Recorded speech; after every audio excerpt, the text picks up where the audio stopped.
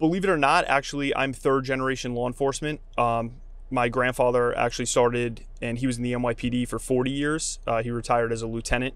Um, and my dad recently retired a couple years ago from up in New York um, after 35 years. So I'm actually third generation. Um, but just everything that they've done in the past, and you know all the stories that they've told me and, and whatnot. Um, obviously, it's it's always been a dream of mine to become law enforcement, and it's obviously solely based because of them. So I'm actually a branch of patrol. Um, I'm on the set team, so it's the street enforcement team pretty much here in Collier County. Um, I patrol North Naples.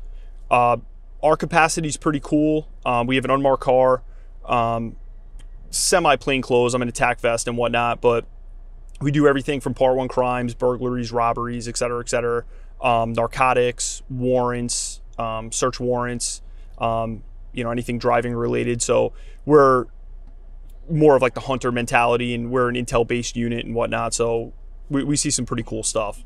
Well, I do like how my job is not a nine to five. Um, I'm actually from when I first graduated college, um, I actually was in the business world for a little bit. Um, loved it. However, it's just so repetitive where you go into the office and you know you just know what your day consists of. In law enforcement and especially the capacity that I'm in, um, it's awesome because you just don't know what you're going to see on a day-to-day basis, what kind of calls you're going to go to. It's always something different. You can never predict it.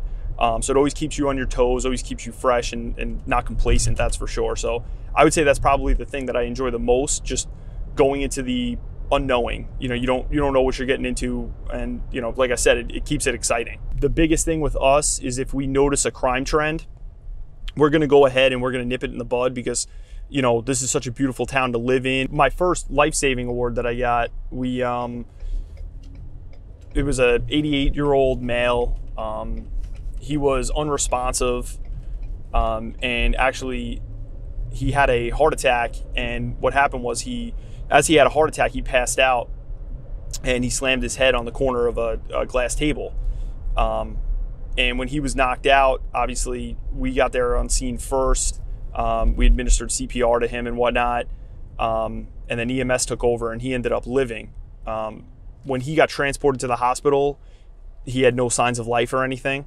um, and it was very fulfilling knowing that he lived. Um, and then we got presented an award, the Phoenix Award, um, obviously in recognition that we helped save his life.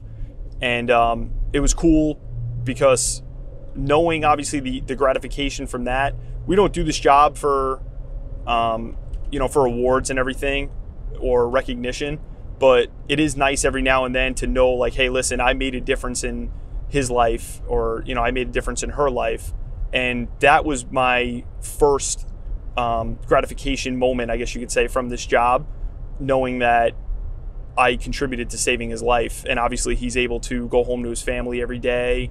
And, um, you know, just knowing that obviously is, is pretty uh, fulfilling within itself. So I would say that that's probably one of my memorable calls that I've been to.